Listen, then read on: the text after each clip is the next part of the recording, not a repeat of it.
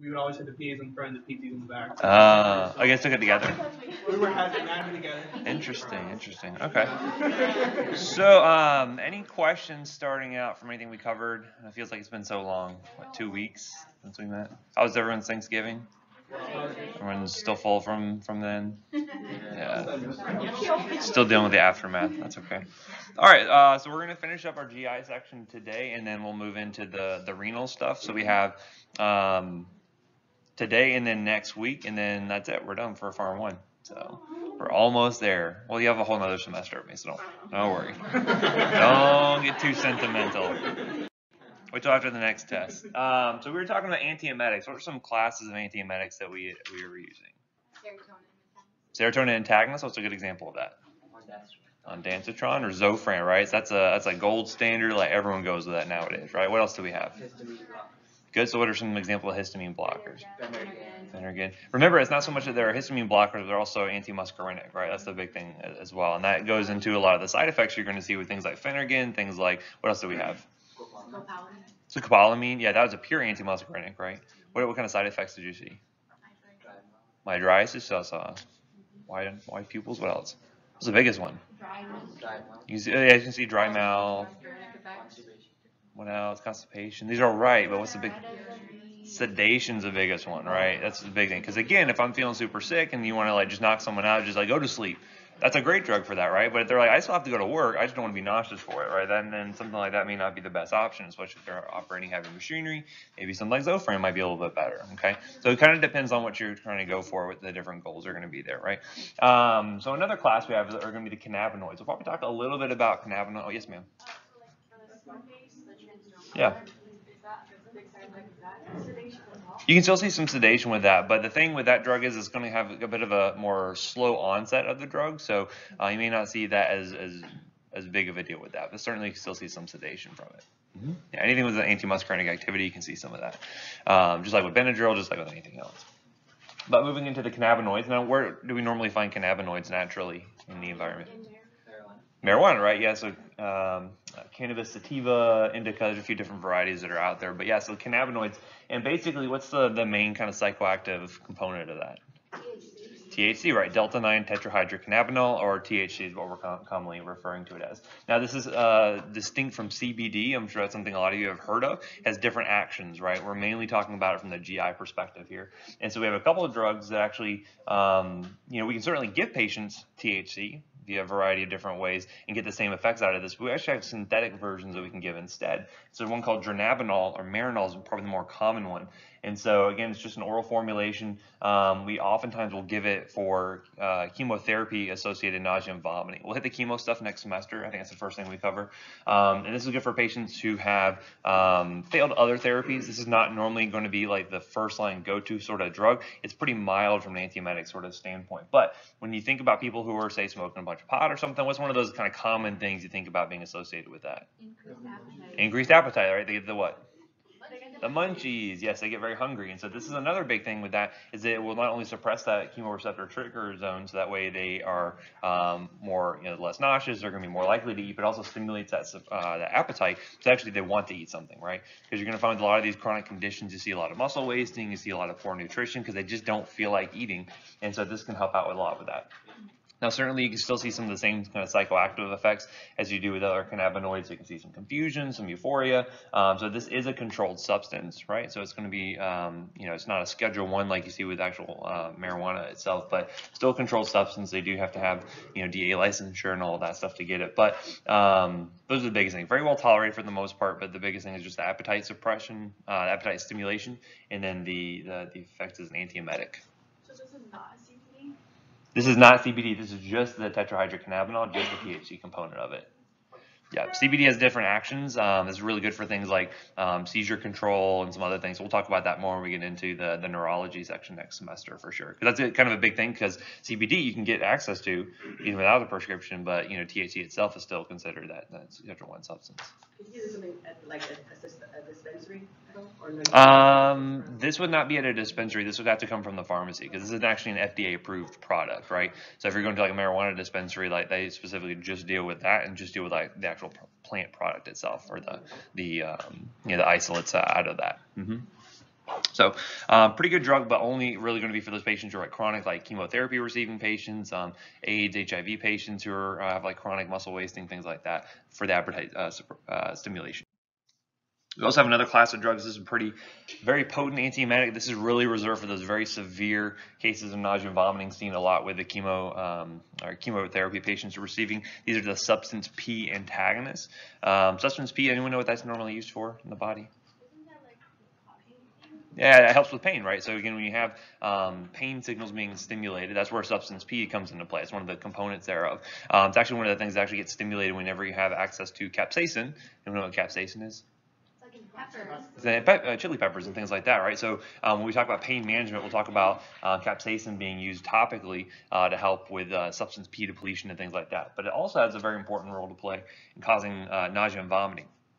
And so if we can antagonize those substance P receptors more centrally, we can help to inhibit that nausea and vomiting associated with some very um, severe sort of uh, emetogenic drugs. Emetogenic just means it causes nausea and vomiting. So for instance, there's a drug called cisplatin, which is a very, um, very severe sort of uh, nausea and vomiting associated with that. Like if you get it, like you're just going to throw up, right? Um, and so basically what we can see is that not only you kind of have that acute nausea and vomiting in the first phase, but you also have this kind of delayed nausea and vomiting that can occur.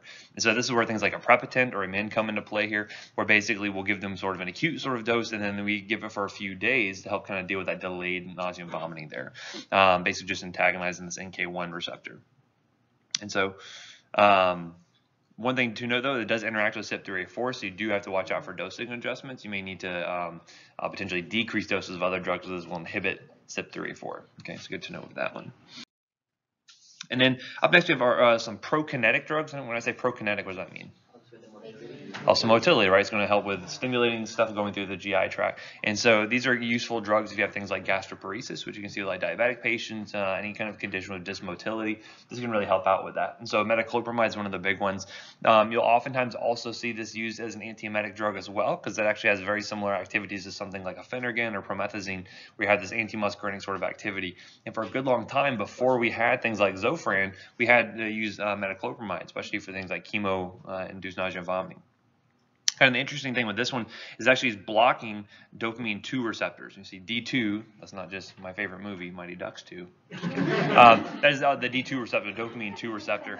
And so by inhibiting that, you're actually suppressing acetylcholine release. And we saw that, um, you know, similar to if we block acetylcholine receptors, that helps with nausea and vomiting. But if we suppress release of acetylcholine, kind of get the same effect there. Um, so that's one of the big things you're going to see with that. It can be very useful for helping with that nausea and vomiting. The other big thing is that prokinetic sort of activity here. So it's going to help to stimulate gastric emptying, motility. Um, so one of the big side effects you'd expect to see could be diarrhea, right? Even though you expect to see like anti-muscarinic, you see constipations, it can cause diarrhea potentially, okay? Um, so you see this used in a lot of cases, not just in the, um, you know, we, we, use this a lot like in the post-operative setting. One of our anesthesiologists just likes to use Reglans, just what he's used to, and that's what they do. Um, so other things to note though is so whenever you're blocking D2 receptors, and we'll talk about this a lot when we get to the behavioral health section, because again, a lot of your antipsychotic drugs work through blocking dopamine too. So this is actually in that same category as a lot of these other uh, drugs. Anyone ever heard of like Haldol? That's a very similar drug uh, from that standpoint. It blocks D2 receptors. So a lot of the same side effects you're going to see here. So one of the big things you're going to know is, going to be this increase in prolactin. So whenever you block dopamine 2 receptors, you see an increase in prolactin. Prolactin normally does what? It will inhibit other hormones. What does it normally stimulate? Prolactin, yeah, so for lactation. So normally when you're feeding a baby, do you need to worry about getting pregnant? Not normally, right? Your body's trying to say, hey, we need to feed this baby before you end up having another one. So you normally can do things like suppress ovulation because of that. And so this is one of those things where you can actually see that maybe, uh, you know, you have a pregnant or a female who's trying to become pregnant has a hard time conceiving, they're on metoclopramide for some other unrelated nausea and vomiting. So it could be something you can see related to that prolactin. Um, those are big things to see with that. Another thing called neuroleptic malignant syndrome. We'll talk about this much more when we get to the behavioral health stuff uh, next semester, but it's, no, it's a very severe complication of um, using some of these dopamine receptor blockers. Um, there's some other side effects. You can actually get some Parkinson-like side effects from these drugs as well, but we'll talk about that a lot more next semester. So just know that these are kind of the normal effects you'd expect to see from, from uh, Reglan. Another drug you can offer, oh yes ma'am. On the previous slide, the first bullet, so does it suppress ACH or does it increase ACH release? So it kind of depends on where it's happening at, but the big thing we're focusing on is just blocking those D2 receptors can help to suppress that acetylcholine release, and that's kind of the main focus there, right? Um, so don't get too hung up on, on more details than that, just know, hey, Reglan, dopamine 2 re- receptor blocker, because that kind of helps more with the side effects that are going to be associated with that uh, and an actual action for, for uh, anti-emesis. Um, the other big prokinetic drug you're going to see here is going to be erythromycin. Now, where do we see erythromycin last? Back in the antibiotics, right? So you're like, well, why the heck are we using this in the GI section? prokinetic properties, right? So again, I can tell you far and away, I see much more erythromycin being used for prokinetic purposes than I actually ever do for being used as an anti-infective. We have other drugs that we can use instead. Uh, azithromycin, clarithromycin gets used much more frequently. Erythromycin kind of has, especially in at least dealing with peds, we do this all the time. We have a ton of kids run this for the prokinetic properties. The reason for that is, and if you go back to the side effects we talked about with erythromycin, what was the big one we talked about? Diarrhea because of the prokinetic properties here. And so uh, basically what it's doing is stimulating those motilin receptors, has nothing to do with the actual mechanism of inhibiting you know, protein synthesis in the bacteria. It's actually just directly stimulating these motilin receptors. You stimulate those, you stimulate kinetic uh, uh, propulsion within the GI tract, and then you get your hopefully fix your gastroparesis or fix whatever the issue is. Um, so obviously you can expect to see um, cramps. Um, now this says impaired motility. That seems kind of counterintuitive, right? So again, sometimes you have this issue where you become kind of dependent on these effects here. So again, it's one of those things where if your body's used to that motilin stimulation, all of a sudden you take it away, what can happen? Everything slows down, right? You have that receptor down regulation that occurs there. So you can end up seeing uh, this kind of withdrawal effect where they may have impaired motility associated with that. So just something to kind of keep in mind, but this is far and away what uh, erythromycin gets used uh, most frequently, at least from an oral standpoint. You still see some um, you know, ocular use for sure. Um, but yeah, this is the big thing you're going to see with Is that. because of tachyphylaxis, impaired motility? kind of- Not necessarily tachyphylaxis, more of a downregulation of those receptors, so that way they um, become less sensitive to it. So the normal um, compounds that would stimulate, you know, normal motilin that would normally stimulate those receptors, um, they just have less receptors to work with. Yeah, kind of desensitization, I would say, if anything. Mhm. All right. so we talked about things that help you uh, keep from things coming out of the top end. Let's talk about things that will help us to get things out of the bottom end, right? Uh, so we're talking about our laxatives here. So what are the different ways we can um, cause a laxative sort of effect here? Basically, what we can see is we can increase motility of the GI tract. We already saw that we can do that with things like metoclopramide. We can do that with erythromycin. We can try to increase the water content of the stool. Whenever you increase that, you're increasing kind of the, uh, you know, the the stretch that's happening in those in that tissue there, and that stretch stimulates defecation. And then we can also do things like decreasing colonic water and salt absorption. So either we can try to draw water into the GI tract, or we can prevent it from leaving essentially. All that's going to increase the volume of the stool. Normally when you get constipated, it's normally due because it's a very dry, sort of um, thick stool that is just not really that uh, mobile. If you can try to increase the water content there, you try to lubricate it more, it's going to be able to pass a lot more easily.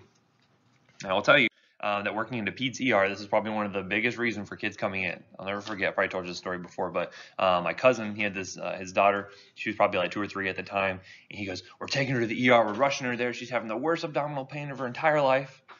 I was like, she's constipated. And he's like, no, no, she says this is the worst pain she's ever had. This is awful, or she's going to die. I'm like, no, no, she's just constipated. Sure enough, they did a KUB, and what do they see? She's FOS, right? Full of stool.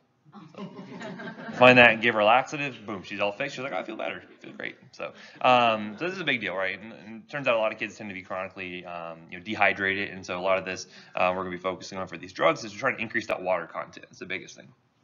So when might we use laxatives? You want to prepare someone for uh, bowel surgery, right? So again, you can try to flush everything out. So either if you're doing uh, colonoscopy or getting ready for surgery or anything like that. Um, in some cases, we may use laxatives to help us to increase excretions of toxins. So for instance, if I have someone with a lithium overdose, I can give them something to help kind of flush out the entire GI tract to get rid of it. Um, you can use these for post-operative stimulation. Usually see a lot of post-operative ileus or slowing of the GI tract afterwards. We want to stimulate that. Um, I forget, I had this one girlfriend who her dad was talking about when he was a little kid. Um, he had surgery for something, I don't know what it was, probably appendicitis or something. And so one of the things they were looking for is like, hey, we want uh, the nurses and stuff were looking for him to pass gas or to have a bowel movement before they would discharge him home. But he always thought it was very rude to pass gas in front of people. So he would just always keep it in. They'd ask him about it. Hey, have you passed gas? And he's like, nope, I haven't done that. So he ended up staying for like two or three days longer. He probably needed to. Um, so eventually, accidentally let one slip in front of the nurse, and then there you go. Um, so other things you can see, you know, um, obviously relief of temporary constipation is probably going to be one of the most common things. Um, and again, a lot of these are available over the counter, so people are going to be self-treating with these, right? Um, obviously, these are going to be contraindicated in underlying bowel disease because you need to kind of fix that baseline problem, which the constipation may be sort of a side effect of, right? So um, acutely, what you're going to expect to see from side effect standpoint is some nausea, abdominal cramping, diarrhea. Obviously, you expect to see diarrhea because this is, what it's inducing, right? Um, now, one thing you do want to be careful of is to not kind of chronically use these uh, laxative agents because you can develop what we call this cathartic colon syndrome, uh, where basically you can end up having this atrophy of the outer muscle layers because you're kind of doing the work for the GI tract itself. So if it you know doesn't need to work all those muscles and kind of work normally, it's going to slow down. And it's going to kind of atrophy there. Um, so you can, especially when you find that um, with some of the classes like stimulant laxatives, people can become dependent on those, and then when you take them away, you're going to have this rebound constipation. So you have to be careful with those. Um, so a couple different classes here. We're going to have our stimulants or irritant uh, laxatives. We're going to have bulk forming. This includes our dietary fiber, which most people probably don't get enough of, right? Uh, stool softeners, and then our osmotic agents. So stimulants or irritants, these are probably the strongest ones that we have out there. These are also the ones I recommend using for the shortest period of time possible. Um, this can include things like castor oil, which is kind of a you know over-the-counter sort of like home remedy sort of thing. Um, the more common ones you're going to see from a prescription standpoint will be Senna and Bisacodyl. Um, those are two of the big ones. And basically, they're just stimulating that GI tract to increase motility to hopefully just kind of force out whatever's there in, in the colon. Um, obviously, a big thing you're going to expect to see is you know, cramping, diarrhea, muscle weakness can happen with this. Uh, potentially, if they're um, going very frequently and they're kind of straining a lot, that can be a, a big thing you can see with that. But you know, be careful not using these too much because you can become dependent on them. And so when you have that withdrawal effect, you know, so if you're taking, you know, bisacodyl all the time and all of a sudden you take that away, then you can end up finding they will have a rebound constipation. So you gotta be careful with that. Um, a lot of these other ones, you may not see that same or as strong of an effect. And, and so um, some of these are okay to use every single day, right? And so this includes your bulk forming laxatives. These are basically non-digestible dietary fibers. Basically, they're just trying to increase the water content, the, the actual, the bulk of the stool in the GI tract, and then that will help to stimulate that, that stretch that will stimulate further motility there.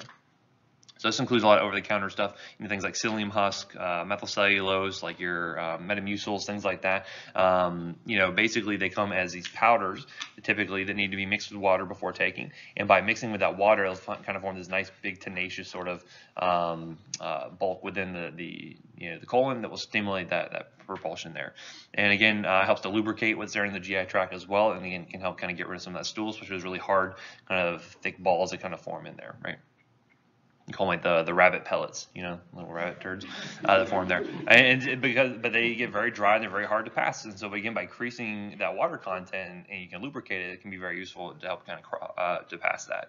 Um, now be careful of the ever using these non-digestible fibers, as they will bind up with other drugs. So you need to make sure you're kind of separating them out. It's kind of similar to those bile acid sequestrants we talked about um, many months ago. Um, but just be aware of that. Be aware there's going to be some cramping, some flatulence associated with. Those are the, the most common things. However, most people could probably use a little bit more fiber in their diet, and so this is uh, uh, one of those things that's okay to use every single day. Um, now, can you ever can can someone abuse laxatives? Yeah. How could they do that? Yeah, for weight loss typically, right? So again, if you're using a ton of laxatives, try to, uh, so that would be one case you want to be kind of careful of uh, from a self-treatment standpoint. Um, but again, the bulk formers are, are going to be very safe to use every single day, not a problem. Okay, uh, next we have our stool softeners, and so these are going to be things that will help to be emulsifiers. They basically help to kind of increase the water content of the actual stool that's there itself. Uh, and so this can include things like your mineral oils, it can include things like your glycerin, and then DocuSate is probably one of the more common ones, the Colace there. Um, so again, by lubricating the stool there, it's going to help it to pass a little bit more easily. Now again, a lot of these products, how do you think they come as far as dosage forms go? Okay, so what route, I guess I should, should, by mouth typically, right? A lot of these are gonna be by mouth, however, not everything's gonna be by mouth. You also have some that are gonna be available as uh, either suppository, so actually be inserted rectally, or they can be used as an enema, as we'll see for some of these. So for instance, you see like a lot of DocuSate suppositories, you know, Senna comes as a suppository. So um, just know there's different dosage forms that are out there. Are any of these agents IV? Actually, no, yeah, so everything has to actually go through the GI tract here, so that's one thing to know. Um, but yeah, and then again, you have to be careful. Some of these um, are going to be, um, you know, sometimes you'll see some used in, in very small children versus other ones. Um, so for instance, like glycerin suppositories are very frequently used like in the NICU for very small babies uh, to help kind of then stimulate uh, defecation in those patients. Um, however, you know, you can have people that are taking mineral oil orally, and that again will kind of go through the entire GI tract. So uh, just know there's different routes that are out there available. And then finally, we have our osmotic agents. This include things like magnesium sulfate. Mag hydroxide is probably the more common one. Now, we talked about mag hydroxide last time. Remember what we used it for? Hmm? Uh, well, yeah, so we do use magnesium, mag sulfate for torsades. Sure, that's from an IV standpoint. But how about from a GI standpoint? What do we use mag hydroxide for? Mm-hmm. Yeah, it's right. It's an antacid. Remember, we oftentimes we're giving it along with aluminum uh, hydroxide, mixing those two together. Remember, aluminum causes constipation, magnesium causes diarrhea. So again, by mixing those two together, it kind of cancel out from an antacid standpoint. Well, you can use mag hydroxide by itself. It's called milk of magnesia as a laxative because basically it's going to help to by giving the high mineral content of all that magnesium. You know, again, it's sort of a salt. So wherever salt goes, water follows, and so you can increase that water content of the stools there. Um, other ones include things like lactulose, mannitol. And, and, uh, anyone know where we use lactulose for typically? Uh. Yeah, so we'll use it for patients who have hyperammonemia. Uh, sometimes we'll give it for that. We're talking about more specific as a, as a, um, a laxative agent, but whenever you do talk about that drug from that standpoint, just know diarrhea is a very common side effect you're going to see with that. Uh, mannitol, and then probably the more common one, especially ever since I went over the counter, is going to be polyethylene glycol or Miralax, right? Miralax is a very common thing you're going to find over the counter nowadays. Um, GoLYTELY is another one. Anyone ever seen GoLYTELY? Is that for colonoscopy? It's for like things for, for bowel prep, right? Anyone see uh, what kind of volume it comes in? It's this powder comes in this big four liter jug basically, and they say fill it all up, and they say here you go, drink it all. Anyone know what it tastes like? Disgusting. Disgusting? Yeah, it's salty, right? Because again, it's a it's an electrolyte solution, right? So again, by drawing that water in, someone said it's like drinking warm sweat. Yeah. I was like, I don't want to have to do that. That sounds that sounds disgusting, right? Hopefully, you can chill it down a little bit first, but um, and again, a lot of people say there's nothing light about how you go when you take GoLYTELY, so just just be aware of that. Well, the mannitol have like the same effect, like the diuretic effects? Is, is it? Yeah, so mannitol is a, mannitol doesn't really get absorbed. So when you use mannitol from a either like an increased intracranial pressure standpoint or from a diuretic standpoint, you're administering that IV. Mannitol doesn't get absorbed too well from the GI tract, so you don't necessarily see a diuretic effect. Uh, it should really just stay in the GI tract and then absorb that water in, right? Because if it did get absorbed, then it really wouldn't be able to do its job there. Mm, so So where, how, what form are you taking mannitol in? This? this would be PO in this Yeah, case here. okay. hmm Yeah, most of these would be PO in, this uh, case here. So, um, all right, then up next, uh, obviously, you know, you expect when you have one of these medications, you know, the osmotic agents are drawing that water in, they're going to help to increase defecation from that standpoint. Now, on the flip side, we have some antidiarrheal agents, right? So this is going to have to slow down the GI tract. We have a few here, they're going to help to decrease that motility, and a lot of them are actually working through the opioid receptor. So if you're familiar, anyone taking opioids, say for pain control, what's the main side effect they talk about? Constipation is a big one, right? You know, certainly see sedation, euphoria, et cetera. But the main thing is probably going to be impacting their quality of life is going to be the constipation aspect of it. So what's interesting about these drugs, they actually do not cross the blood-brain barrier. So they can't actually get into the spinal cord to work where the opioids normally do. However, they can work on the GI tract. Uh, so we will give these orally. They will be absorbed from there and then just affect the opioid receptors in the GI tract to slow things down, right? So these are good for antidiarrheals. Um, you have diphenoxylate. Um, sometimes actually comes with atropine uh, with it as well. Now atropine, and we know what this drug does? It's an anticholinergic, antimuscarinic. Normally, we don't actually see this being absorbed from the GI tract. What's interesting, though, is that people at one point were trying to abuse this, and they would actually inject the drug. And so you tended to find when you have big doses being injected, some of it would be, able to uh, bypass that blood-brain barrier. And so they actually were uh, doing was putting atropine in with that drug. So if they were to crush it up and try to inject it, they caused themselves to be so sick uh, that they didn't want to do it anymore. That's kind of a deterrent. Um, so just know that's what that's kind of there for. But the main product is the diphenoxylate. That's the one that's mainly working there. And then loperamide or Imodium is probably the more common one you're going to run into. Now, what are some of the problems you can find with using an antidiarrhea? When would you not want to use that? If someone has an infection, Yeah, so if you have bugs that are growing in the gut, you want to make sure you try to get rid of those, right? So you don't want to hold on to them and they can then proliferate. So in case of infectious diarrhea, probably do not want to use in these antidiarrheals. But just run-of-the-mill diarrhea, kind of you know intermittent, totally fine to use these. We don't want to use these chronically because you end up having um, this kind of this toxic megacolon that can uh, develop here. So that is one of the things you can see with chronic use, but typically pretty safe when just used for non-infectious purposes, right? Uh, another one you're going to find is uh, also bismuth subsalicylate or Pepto-Bismol. Um, again, this has uh, several actions uh, to help to kind of inhibit intestinal secretions. Uh, this one can be pretty effective in infectious diarrhea. It doesn't actually slow down the GI tract so much, but can kind of help um, with, with fighting off some of those infections due to some of that salicylate that's contained in it. Um, and again, just be aware of uh, who should not get this drug. Kids less than 16 who are post-viral, right? So you know, want to be careful with that. And then also bismuth, uh, potentially taking too much bismuth, that can actually lead to some metal toxicity, which I'm not going to get into here, but just be aware of that. Remember what I said, how this shows up on an x-ray? Yeah, yeah. So the bismuth is radio opaque, so it's going to be these like kind of little punctate radio opacities uh, that you're going to see throughout the, the GI tract. So if you see that, just know that's probably just ask them if they took Pepto Bismol recently, and that's probably what it is. Okay, so then moving into talking about the uh, inflammatory bowel disease or irritable bowel disease, irritable bowel syndrome. Um, the two big delineations here, we're talking about IBD is going to be ulcerative colitis and then Crohn's disease. And have you talked about this already? Good. Okay, so we'll be able to cover the drugs uh, a little bit more detail here. But what, what's the problem? What's the main pathophysiology here? It's an autoimmune condition, right? So again, the, the, the immune system of the body is now targeting the GI tract and saying, hey, we need to fight off this tissue here. It's foreign. We don't like it. Let's get rid of it, right? And so what are some of the things you can see from that? Diarrhea, rectal bleeding, damage done to the tissue there, you know, uh, yeah, so it's very, very uh, painful for the patient, very uh, uh, not not very tolerable. And so, what's kind of the difference as far as where the disease is between ulcerative colitis and Crohn's disease?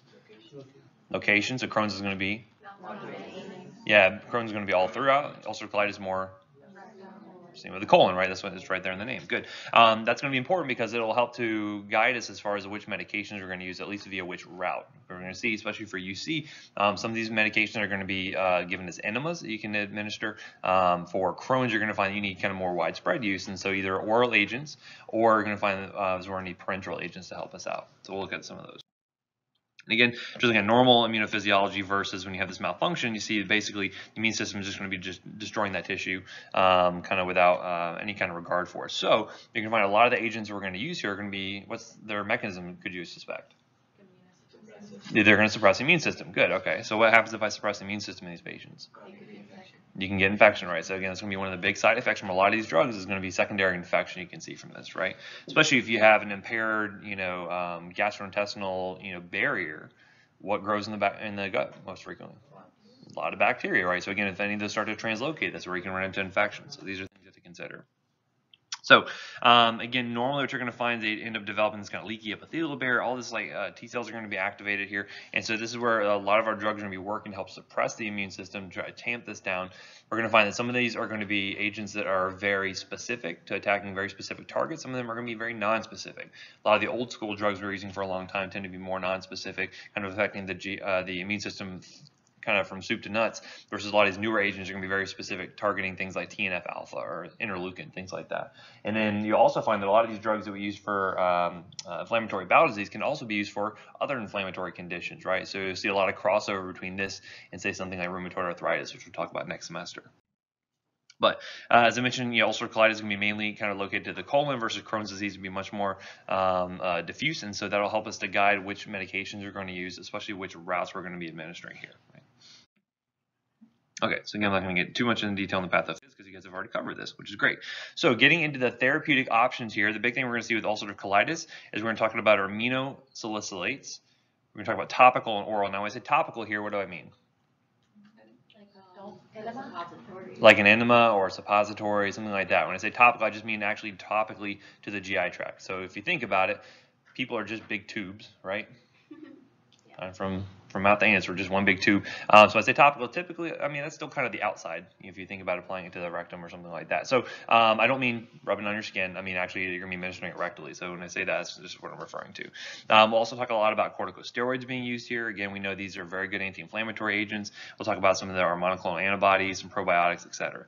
Um, in Crohn's disease, you're going to find that typically um, they'll have a lot of the same treatment options, but you're not going to find that we can administer things rectally. They need to be given orally. So that way they're going to have touch every single part of the GI tract versus with ulcerative colitis, some of our drugs are just going to be able to be used rectally. Okay. Okay, so getting into the aminosalicylates, the most common ones we run into are going to be things like sulfasalazine. Basically, this is a prodrug of sulfapyridine and it's 5-amino salicylic acid, right? So it's kind of very structurally similar to, to aspirin there. Uh, basically, gets metabolized by the colonic bacteria into these two products here. And so by doing that, you can imagine aspirin as an anti-inflammatory by what action? It inhibits cyclooxygenase, and so that inhibits inflammation, right? So we already know how that works there. Um, same thing is basically happening here, right? So we're inhibiting that lipoxygenase pathway and the COX pathway, both through the sulfapyridine and the 5-amino salicylic acid there. Now, as far as adverse effects go, how might you see this manifest? Well, imagine if you inhibit COX enzymes, what can that do to, say, for instance, platelets? It'll inhibit them, right? So just like we saw before, so it could be some issues with uh, blood dyscrasias you can see develop from this, um, you know, some anorexia, diarrhea. Again, what are these patients likely developing anyway from their disease? Anorexia, diarrhea, abdominal pain. So a lot of these things are gonna be happening anyway, so it's hard to say, is the drug making this worse? Is it better? Um, so you kind of have to take that with a grain of salt. You know, just kind of see how things are developing for your patient with the addition of these drugs. And I'll talk about the dosage forms here in a minute. So uh, the other uh, common one we're going to see here is, is going to be called mesalamine. This is just 5 amino salicylic acid. And again, same mechanisms what we saw with the sulfasalazine a second ago. Um, mesalamine typically has less adverse effects that are going to be associated with it. And you can see here there's a lot of different varieties that are available. They all have different brand names associated with them. Just know there's different dosage forms. So for instance, if I have a tablet here, and see DR just means delayed release. Because um, again if you're using it for ulcerative colitis you want to have a delayed release so that way the drug doesn't really start to work until it gets down to the colon right? Um, so again tablets are going to be used orally. They're going to be able to touch much more of the GI tract. Um, here you can see that we also have things like suppositories. Again depending on how diffuse the disease is especially with UC you may find that it's just more relegated just to the rectum. Uh, which in that case a suppository is great you know? Um, something like an enema they're going to find is going to be able to get a little bit higher up into the colon. So you can find that, um, and again, we'll look at how far those enemas can typically get in just a few minutes here. But again, based on where the disease is, we'll kind of dictate what uh, dosage forms you're using. So um, another one we have called olsalazine, which is just a dimer of mesalamine, just means two of them put together. It's a prodrug, colonic bacteria, to cleave it in half, and boom, now you have two molecules of mesalamine. And then uh, is another one as well. It basically has a 5-acetylsalicylic uh, acid there. So again, they're all going to have the same actions as what we saw with the sulf uh, sulfasalazine a second ago. Now, looking at corticosteroids, uh, um, again, we know they're going to have uh, wide-ranging anti-inflammatory sort of effects there, because uh, again, they're working at the site of the nucleus, so kind of from the uh, top of the pyramid down, they're inhibiting inflammation. And so you're going to find that we have several varieties that are available here. So we talk about topical varieties; they're going to be administered uh, via the rectum. So we have things like hydrocortisone, which is used most frequently. Now, again, in the pantheon of corticosteroids, hydrocortisone, I think it's like super potent, less potent, it's pretty wimpy, right? So again, we're using kind of a wimpier sort of corticosteroid here, but because we can get a very high concentration right where the inflammation is, it ends up working pretty well. Um, so we have things like a suspension enema that can be administered, suppositories, foams can even be used. Foams have a little bit better staying power uh, there in the colon when administered. So for instance, you can see here, Colocort, you know, it's given as a 60 ml uh, enema, again, given PR daily or twice daily. And again, from a patient compliance standpoint or patient ease of use standpoint, our enema is very convenient. Not really. So it's not great. And again, this is why um, this takes a major hit on their quality of life is because not only is their disease very disruptive to their lifestyle, but also having these medications that are not super great in the first place, just from a, a, a compliance sort of standpoint, right? Now I do have some oral options here. Have things like budesonide, which normally you expect to see budesonide inhaled orally for things like asthma control, but here's one example we're using orally for um, inflammatory bowel disease. You can use things like prednisone, methylprednisolone. Now the main goal here is if we can get them off of systemic corticosteroids, that is always going to be the goal. But just like any inflammatory disease, you're going to find it has peaks and valleys. You're going to find there's places where it's going to get exacerbated, places where it goes down to more sort of an indolent sort of phase. Um, when you have these exacerbations, that's where you want to kind of pick up your game and use these corticosteroids. If you can get them off of them in the meantime, that's great. Um, sometimes people need to be on these chronically every single day, but we know there's a lot of side effects seen with the corticosteroids. What are some of those side effects? Weight gain, edema, Cataracts. potentially cataract formation, osteoporosis, right? So calcium uh, dysregulation there uh, hyperglycemia, right? So there's a lot of different factors seen with these. So infection, again, being another big thing as well. Um, and then for the very severe exacerbations, this is where you can switch over and use something IV. So hydrocortisone, uh, methylprednisolone, probably the two big ones you're going to see with that. So just be aware um, that if we can get them off the corticosteroids, it's always going to be a benefit. And that's where a lot of the newer monoclonal antibodies have kind of come into play, is they can help get that infl uh, inflammation under control. So you don't need as many of these corticosteroids.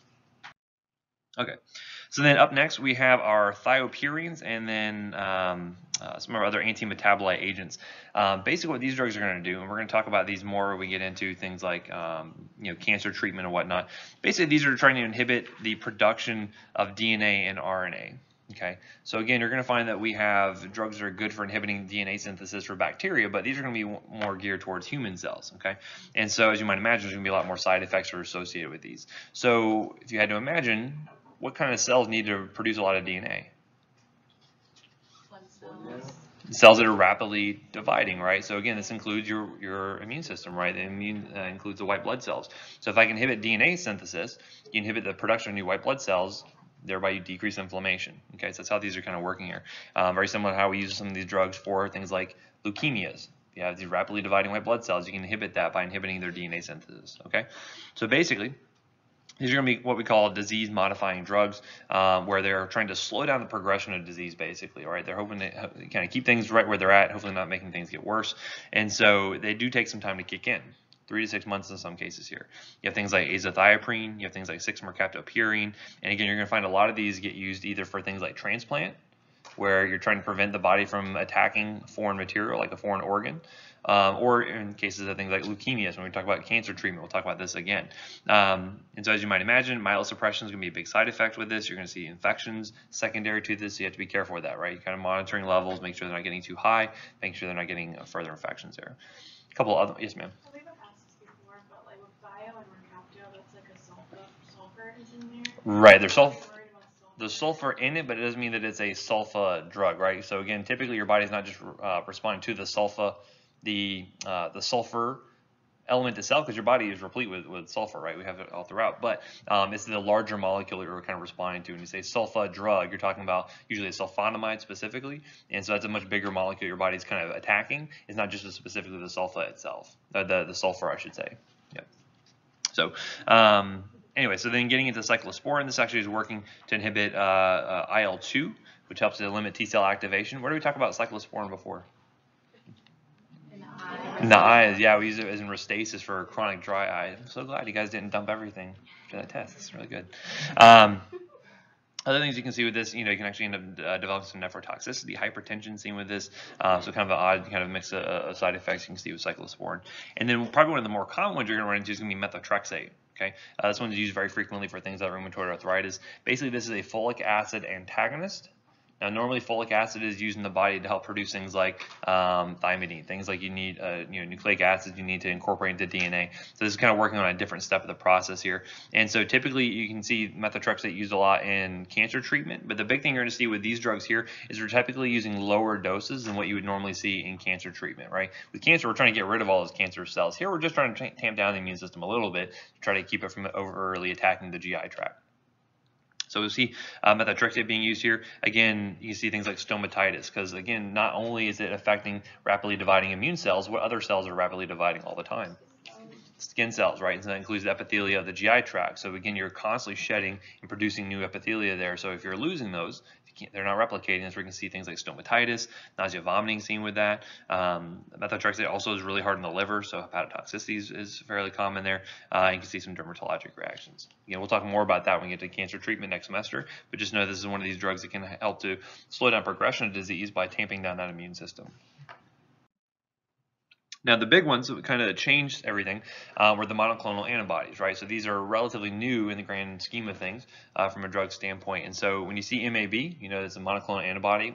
What do I mean when I say monoclonal antibody? Well, it depends. Uh, It's just an antibody that we have specifically engineered it against a specific target here, right? So again, we can design it to attack any sort of target that we want. If I, I can design antibodies that attack snake venom, right? I use that quite a bit. Um, these are going to be designed specifically to help block the activities of TNF. Now, again, there are going to be new monoclonal antibodies that get released every single day. This is like the big blockbuster set of drugs. So, again, I can't even keep up with how many of them there are out there. So, I will give you a few examples of them. I'm not going to cover every single one of them. If you go and work in GI, you'll get very familiar. These are the more common ones you run into. And just so you know, just because you see MAB on the end of a drug does not mean that it's always going to be a TNF alpha blocker. It just means it's an antibody that we've engineered to attack a specific target. So by attacking that target, it will bind it up and then prevent it from activating things like T cells, right? So for instance, we have things like infliximab, adalimumab. These are going to be these antibodies that are targeted against TNF alpha to decrease that immune response. If TNF alpha is not there to activate those T cells, guess what? They stay inactivated. Um, and so uh, being an antibody, how do I have to give this drug? Yeah, it has to be via injection, right? So usually sub-Q injections, things that patients can give at home. Um, in some cases, they may need to come into an infusion center to receive the drugs. It just depends on the formulation. So for instance, like infliximab, this has to be given via IV. So we have to bring our patients in to get infliximab every couple of weeks or so, every month or two months, uh, versus something like Humira actually comes in a little pin that patients can inject themselves. So it'll depend on the dosage form, kind of depends on what works for, for those patients there. Also, if you had to imagine, what's the cost of these drugs? Very expensive, especially as opposed to something like methotrexate that's like older than uh, dirt. It's been around forever. Um, that stuff's cheap, right? I can get methotrexate very, very cheap. This stuff is going to be hundreds, if not thousands of dollars. So again, oftentimes um, insurance is going to be playing a big role here. Oftentimes we'll have programs set up through the drug companies where they'll actually try to um, help with the, the payment uh, for these things. So for instance, we have a program for uh, Humira for our GI kids uh, who are um, uh, they basically get started their first dose is free while they're in the hospital, and then the drug company will help them kind of set up uh, a way for them to get payment for it when they get out of the hospital, right? Uh, it's kind of like a drug dealer from a uh, illicit standpoint. They say the first hit's free, then you got to pay, but they kind of help you along with the process, right? So hopefully they're not going to leave the patient high and dry from that standpoint. Anywho, so you might expect um, that you need to uh, check for a few things before you actually administer these drugs. The biggest thing is to check for TB, right? You need to do a PPD before you administer these drugs because if the patient has a latent TB infection and you inhibit that immune system, it could reactivate. So you have to be careful with that make sure you're checking for TB beforehand.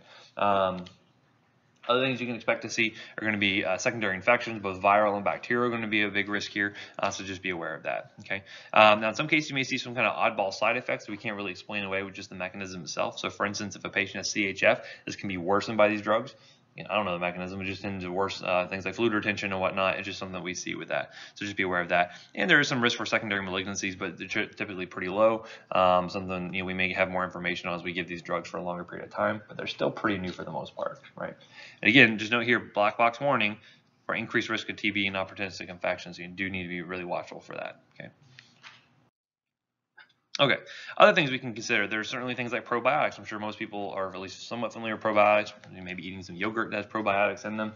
Um, the main goal here is to try to make sure we're kind of keeping a normal gut flora here to hopefully prevent any kind of opportunistic bugs from sort of um, taking, uh, you know, starting to colonize and hopefully um, not in, kind of stimulating that immune system. So in some cases, there's a lot of different varieties that are out there. Um, a lot of the studies are not um, saying like gung ho, like yes, you absolutely need to have this probiotic on board. It's going to help your UC. It's going to clear. Like, they're not that effective, right? But um, at least by having something on board, it's probably not going to be a big problem. Um, shouldn't really cause any issues from uh, that standpoint, right? There's some patients you do not want to give these live bacteria to, uh, especially if they're severely immunocompromised. But this is not going to be one of those cases here. Okay, other things you can consider, things like antibiotics, right? So some possible benefits here is if you can decrease the concentration, of maybe pathogenic bacteria in the gut, that can be somewhat useful here. And hopefully trying to give that along with probiotics can increase the population of healthy bacteria versus the bad bacteria. That can be somewhat useful.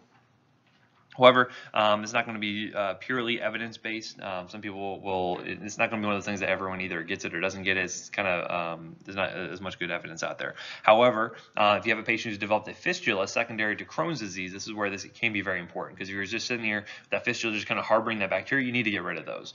And so this is where you have something like either um, a Cipro, ciprofloxacin, know has uh, some decent uh, anaerobic activity. It's going to help to get rid of some of those bugs along with some gram negatives, or metronidazole can be used here uh, additionally. Okay, some other ones you may see being used include things like tetracycline, rifaximin, but the big ones are going to be Cipro and metronidazole here. Okay, um, for use, and it's tough, I don't have a clock here to see how long I'm going for, so I'm going to finish up this section at least. Um, so as far as goals for treatment, so this is kind of the main armamentarium. Those are the main drugs we're going to be using for, for these cases here. Um, the goals of treatment, obviously, for UC are going to be to help to, to reduce that inflammation, hopefully induce remission if they're having an acute exacerbation, and obviously improve their quality of life here. Okay. Now, again, treatment is going to be very dependent on the severity of the disease and also the location. So you can have some very mild cases that may be treated just with methotrexate, doesn't need any corticosteroids, they're totally fine. Some more severe cases are going to require things like the monoclonal antibodies, etc. So at some of these options here. Now, looking at the uh, the large intestine here, um, you can see that depending on how diffuse the disease is, our drugs are, not, are only going to be able to get so far, at least when they're administered rectally. So, for instance, suppository, where do you think it's mainly going to be working at? Probably just the rectum, right? So again, if you had a much more uh, kind of just relegated just there to the rectum, that'd be totally fine, right? Um, versus something that's gonna be a little bit more diffuse here. Say you have a left-sided colitis, um, your enemas could probably get up here, right? You, the, and again, you're fighting gravity in a lot of these cases here. Usually your patients are gonna be kind of laying on their side when administering these uh, enemas, so that way um, it can kind of help to, to coat the GI tract there. However, this is going to be kind of your limit here. If it's going to be much more uh, extensive and kind of affecting the entire colon, you're going to need oral options here because you're going to need something that's going to be able to go through the GI tract, through the small intestine, and actually get here and be able to treat all these portions here, right? Unless you have some kind of way where you can like put your patient in some kind of thing to like flip them over and kind of rinse. You can't really do that, right? Um, so again, topical products are going to be relegated just to um, proctitis and through left-sided colitis. Anything further than that, you need oral agents there, okay? So looking at this, and again, this is basically going to be a stepwise approach, right? So again, very similar to the other things we saw. You don't want to start with always the big guns. And sometimes it depends on how severe of a case they're having when it be, uh, begins here. So let's say, for instance, we're just dealing with the proctitis. Okay, first off, start out with the easy thing. Topical 5-aminosalicylic acids include your sulfasalazine, your mesalamine, any of those ones are going to be totally fine here. And see, okay, well, does it work for them? If it, yes, it does work, just stick with that. That's totally fine here, right? The nice thing about that is it's working very locally. You're not going to see a ton of systemic side effects from that, mostly just the GI effects, okay? Well, let's say, for instance, that it doesn't work by itself. This is where you can add on something additional. Let's add on now a corticosteroid. So now I have a, a 5-aminosalicylic acid as an anti-inflammatory, and now I have something like topical hydrocortisone I'm adding on top of that, right? So then they can work synergistically to help deal with that inflammation. At this point, if it's still not working, and again, it would be nice if you could try to taper off and just get back to the 5-aminosalicylic acid. That'd be best from a side effect standpoint. However, if not, this is where you can either go with both of them or you need to consider um, bumping it up to something else, right? So we'll talk about using a little more extensive therapy in just a minute here. Now let's say we're doing something like, you know, left-sided ulcerative colitis. Using a topical product may be well and good enough on its own, but if it's not, then that's where you need oral agents as well, right? So you have some oral 5-aminosalicylic agents that can be used, and sometimes you'll see patients on oral and rectal. They can be used together depending on where the disease is kind of located to. But if that's not working, this is where you need to consider not using a topical corticosteroid, but using an oral corticosteroid. Budesonide is a pretty common one, hydrocortisone, um, any of these can be used uh, pretty frequently there. At this point, if it's still not working, this is where you want to consider using something like one of these, uh, these anti-metabolite drugs we talked about, something like an azathioprine, something like a 6-mercaptopurine that's going to help to actually deal with the immune system, try to start to tamp that down. This is where we're getting more systemic sort of drugs here. You're going to expect to see more side effects, more risk for infection, etc. So again, we're kind of working up to these not just starting out with the kind of the biggest uh, guns in, in, in, our arsenal there. Okay. At that point, if it's still uh, things are not working, that's where we consider things like monoclonal antibodies, surgery in some cases, which is not really my purview, but um, this is where the monoclonal antibodies come into play here. Again, very effective, but very expensive, and you have to worry about the infection risk. Okay.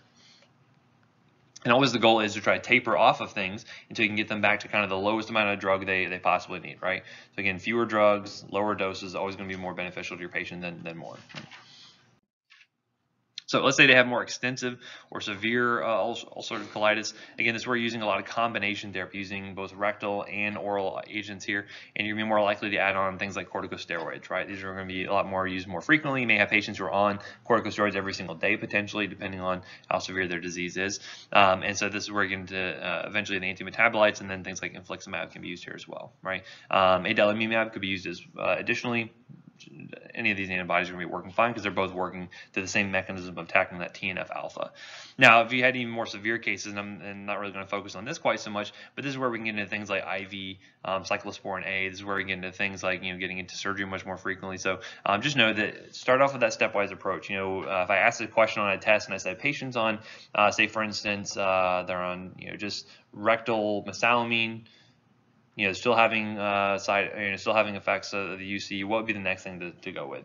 You can say, okay, well, use a topical corticosteroid, right? I'll say it's a proctite. I'll make it very clear, you know, what it is, uh, not, not to leave a lot of gray there. Um, but the other options will be like go straight to surgery, uh, start out you know, infliximab or something else that would be ridiculous, right? Um, so again, use that stepwise approach. Look to see what they're on and then what you can then bump it up to next, okay? Okay, for Crohn's, we're going to use all the same drugs for the most part, but you're going to find that um, the the route is going to be much different here. And again, very same uh, similar activities or same uh, goals we're shooting for. What you see with uh, Crohn's disease, you're going to find that we're going to be using more combination drugs right off the bat. So specifically, if you're worried about them having one of those fistulas or bacterial overgrowth, this is where you can use antibiotics. But typically, they're going to need to be on because again, they have much more diffuse disease. Uh, something like a 5-aminosalicylic acid plus an oral corticosteroid. Notice here, by going orally right off the bat, we're going to be able to coat the entire GI tract and not just hit the, the colon, uh, as we saw with UC there. Um, again, looking at how they're going to be responding to this, especially if they have like an acute exacerbation, this is where IV corticosteroids can be used. So sometimes you'll have patients who are getting admitted who for a flare-up where they have to get IV things like uh, IV methylprednisolone or things like that to try to get their that acute inflammation in, in- under control there. Okay. Again, using things like anti-metabolites are going to be used here as well, azathioprine, 6-MP, things like that. And again, if those are still not working, that's where you can eventually bump it up to something like an infliximab, adalimumab. And again, uh, it doesn't mean you always have to start right at this point here. If the provider feels that it's severe enough, you may want to start start them up a little bit higher, right? So again, it depends on um, how the patient's looking, depends on the provider. If they've seen a million cases look just like this, they may go a few steps ahead right? But again, my questions would be more specifically asking, you know, um, which of these would be, uh, you know, appropriate for ulcerative colitis versus Crohn's disease, and I'll have you want to know the dosage forms that are appropriate for that. You know, I'll ask you, um, you know, a patient has uh, extensive UC hitting the entire colon, which one of these would be inappropriate? Probably wouldn't ask a negative question, but you'd say, okay, well, the, the suppository is not going to be good for that. Um, you know, things like that. So those are kind of the questions I'm going to be asking here. Um, just know also to use that stepwise approach and try to scale things back whenever possible. Okay. Okay. Uh, they have more refractory. This is where again you can have your monoclonal antibodies here. I'm starting to see more people kind of jumping to the monoclonal antibodies before they actually end up hitting the 6-MP and the azathioprine. Just depends on the case, um, how severe the cases are. These are very good for getting things under control, and then eventually maybe able to scale it back to something like a methotrexate or something. So it really just depends. Um, from a side effect standpoint, you know, adalimumab because it's so specific for hitting just that TNF alpha, you tend to see less sort of side effects than we see with like a methotrexate. So a lot of it depends on cost, a lot of it depends on um, other patient factors as well. So again, it can be very individualized depending on the patient. Okay. Okay. Uh, again, as far as maintenance goes, again, you want to try to um, scale things back, as I mentioned. Um, you know, depending on um, what's going on here, we try to have no corticosteroids on board as much as possible because uh, with ulcerative colitis, you can get away with using topical corticosteroids. Those are okay. You can see patients are on those chronically. However, for um, Crohn's disease, you try to get them off the corticosteroids as much as possible because, again, by giving it orally, you're going to see systemic effects from that, and you want to try to prevent that as best you can, right? Again, do people outgrow Crohn's? They outgrow ulcerative colitis? Not typically, right? It's going to be kind of a lifelong sort of thing. So you want to kind of find what works for them, have a plan in place for when they have these exacerbations, what they need to step it up to. You may give them, uh, you know, an as-needed prescription for corticosteroids. Say, hey, if you have a flare-up, if you notice these symptoms, go with this. Try this before coming in. You know, some things like that. So um, if you work with these patients, you have much more experience with them, you'll know what to do. Okay, so any questions on that? How do they use the topical thing? I still can't picture. Like, Hmm? using the topical, like, topical corticosteroids? Yeah. If we start the therapy, so how are we administrating it? Like, how does the patient, and what part of the colon is it only gonna affect? So it's only going to be left-sided. If you have a left-sided uh, ulcerative colitis or a proctitis, like that's where the co- topical corticosteroids are going to be kind of relegated to. Um, and again, they're usually given by enema. There's foams, you know, things like that. Yeah. Because again, we have topical corticosteroids you talked about being used for derm stuff, but we're talking about topical here in terms of the, the GI tract. It's a little different there, right? Is derm on this test? Can't remember. No, we did that before, so you don't have to worry about getting those two conflated. Which is good, thank goodness, right? Don't get all your topicals mixed up. Okay, so let's do a 10 minute break. We'll come back and then start with the renal.